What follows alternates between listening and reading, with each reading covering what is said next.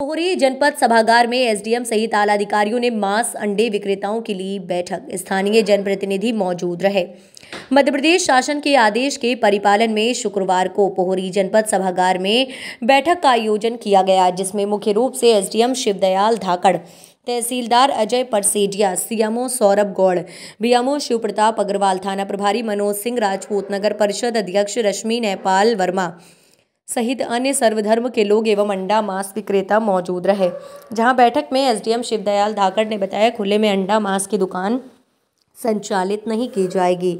साथ ही सभी विक्रेता फ़ूड विभाग से लाइसेंस के बाद ही संचालित करें। दुकान बीच बस्ती में संचालित नहीं की जाएगी। साथ ही उन्होंने सभी धर्म के लोगों से कहा कि लाउड स्पीकर का मानक तय किया है। इसके सभी मिलकर परिपालन करें। बैठक में नगर परिषद के पार्षदगढ़ सहित अन्य जनप्रतिनिधि मौजूद रहे। सर, आज एक हम बैठक का आयोजन किया गया है और सभी आला अधिकारियों के साथ जनप्रतिनिधि और क्षेत्रीय लोग शामिल हुए हैं। सर, क्या कुछ उद्देश्य था और बैठक में क्या कुछ हुआ? इसमें जो शासन की तरफ़ से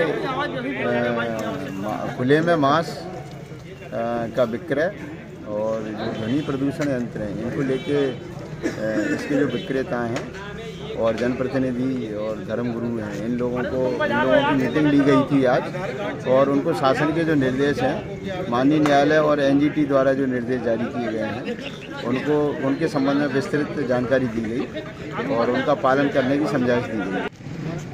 सर, मांस और अंडे विक्रेताओं को लेकर एक, मध्य प्रदेश शासन द्वारा गाइडलाइन जारी हुई। उसके बाद एक हम बैठक हुई है। आप भी मौजूद रहे। सर, इनके लिए क्या कुछ प्लानिंग आप प्रशासन कर रहा है और आगे क्या कुछ करने वाले हैं? जी, शासन के जो दिशा निर्देश हैं, उनसे इनको अवगत करा दिया गया फ़िलहाल।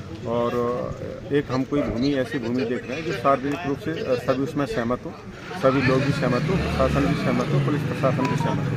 तो इस संबंध में पटवारी और राय निरीक्षक से रिपोर्ट ली जाएगी और जहाँ भी सर्वसम्मति हो जाएगी, वहाँ नगर में एक जगह इनको स्थापित किया जाएगा।